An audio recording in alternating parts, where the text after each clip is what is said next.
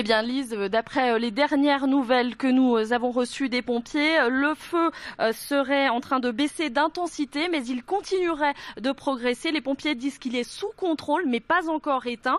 Alors, vous l'avez dit, l'incendie s'est déclaré dans l'après-midi au sud de Dijon, sur le plateau de Chenauve. Un feu très important qui a provoqué, vous le voyez sans doute derrière moi, un fort dégagement de fumée. D'ailleurs, les pompiers ont reçu beaucoup d'appels de Dijonais qui signalaient le sinistre. Alors, c'est un feu de végétation il n'y a aucun danger. Euh, deux hectares de résineux sont partis en fumée. Euh, d'importants moyens, évidemment, ont été déployés euh, très rapidement sur place. Une cinquantaine de pompiers des, casernes alentours sont intervenus. Des pompiers soutenus par une quinzaine de véhicules. Un hélicoptère a même fait un survol de la zone avant d'attaquer les flammes.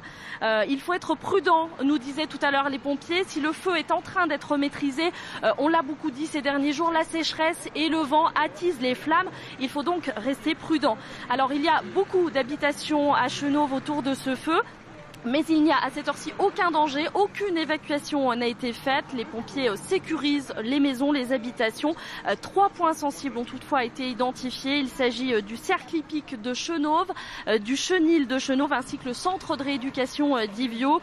Donc voilà, trois points qui vont être surveillés avec grande attention. Je vous le répète, le feu serait maîtrisé, mais les pompiers veulent à cette heure-ci rester prudents.